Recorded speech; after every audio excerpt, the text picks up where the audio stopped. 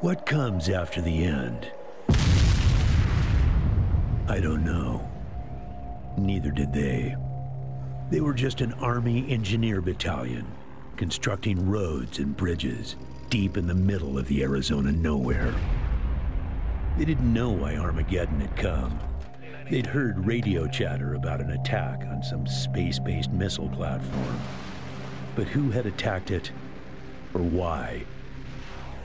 No one knew. What they did know is that the politicians and the generals had finally ended the world. Now, everything was gone. They took over a federal prison for a fort, kicked out the convicts, got busy starting from scratch.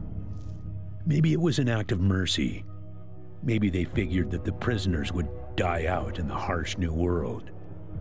Whichever, it came back to bite the engineers in the ass. Cultists, criminals, cannibals.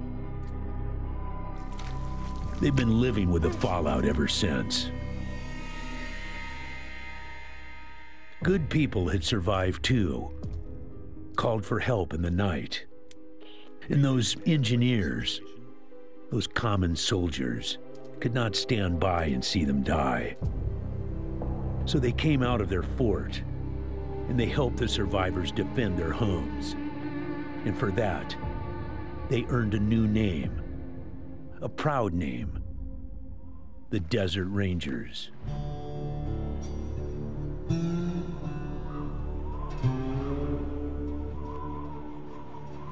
Now, Rangers, I know at times it seems our cause is hopeless.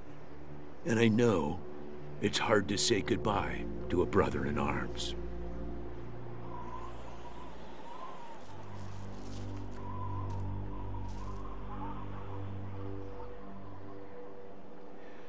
But I want you to know something else.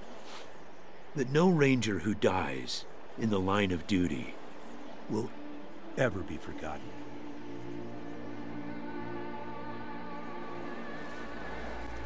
Nor will he have ever died in vain or unavenged.